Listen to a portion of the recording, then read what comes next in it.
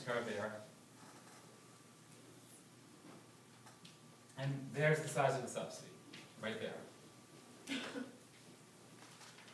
So, how could I get them to the same indifference curve, cheaper, indifference curve two? How could I get them there cheaper? I could bring back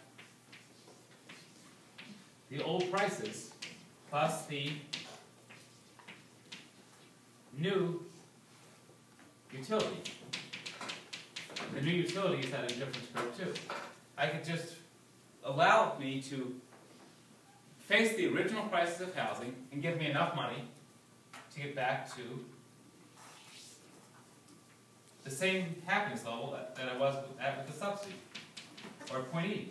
And this amount of money is not the full four thousand dollars, but rather it's something like thirty-five hundred, it's less money. Or if I were to do that over here, I would just need to bring the original budget line up until it was tangent to the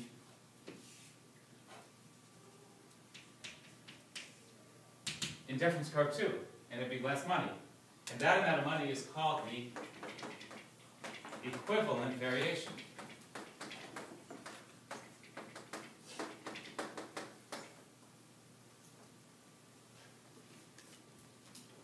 Enough money to get a person back to the